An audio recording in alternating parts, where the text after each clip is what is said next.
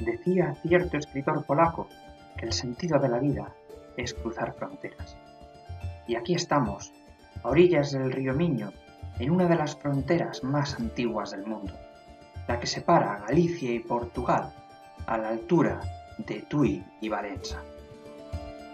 Establecida en 1137 con la firma del Tratado de Tui, durante siglos esta frontera solo se podía cruzar en barca.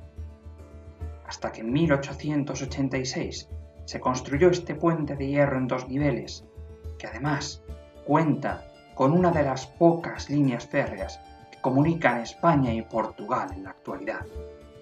A fecha de hoy, solo dos trenes de pasajeros en cada sentido cruzan diariamente estas vías, uniendo las ciudades de Vigo Porto.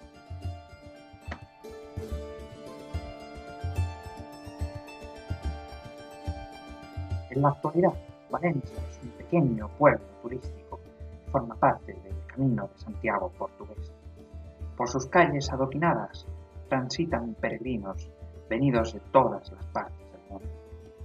Desde 2012, junto con la vecina Tui, ambas forman la eurociudad de Tui y Valencia.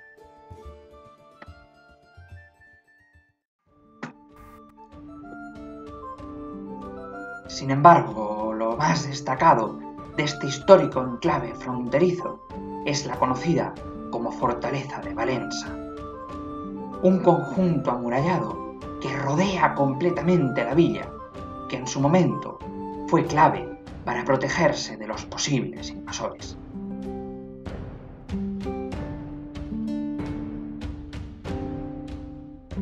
Esta fortaleza defensiva del siglo XIII es la más importante de la región del Alto Miño y también una de las joyas más destacadas de la arquitectura militar europea. Perfectamente conservada, rodea Valenza a lo largo de sus más de 5 kilómetros de longitud.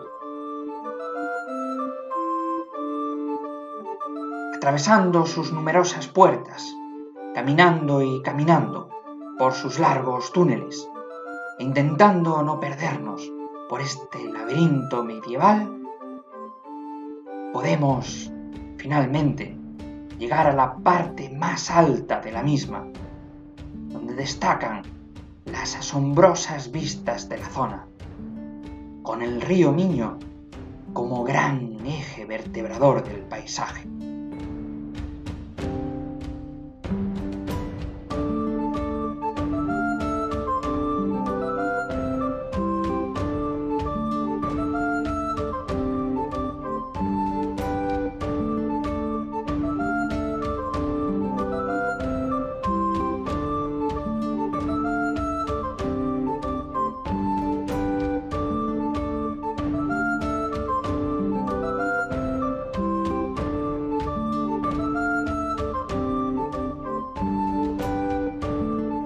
Echando la vista atrás, podemos imaginar cómo en otros tiempos se divisaban los enemigos desde esta impresionante fortaleza.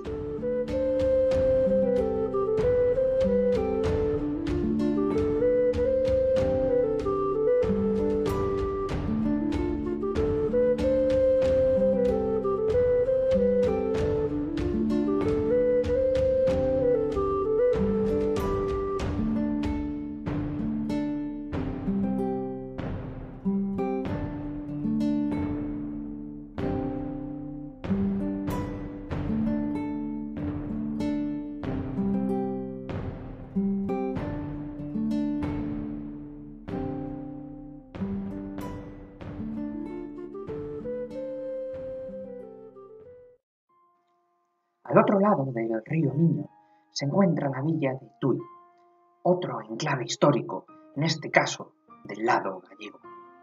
En su condición de ciudad fronteriza, Tui también se encuentra rodeada por una imponente muralla medieval que data de 1170, cuando el monarca leonés Fernando II ordenó su construcción con fines defensivos y para ampliar el perímetro del enclave hacia el río.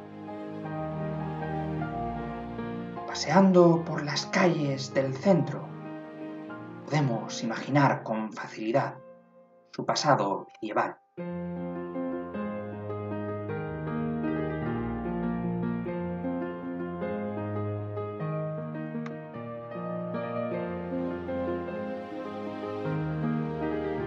Su catedral, construida a lo largo del siglo XII en estilo románico tardío, es también una visita obligada. Con esto acabamos nuestro viaje a la eurociudad de Tui y Valenza, a orillas del río Miño.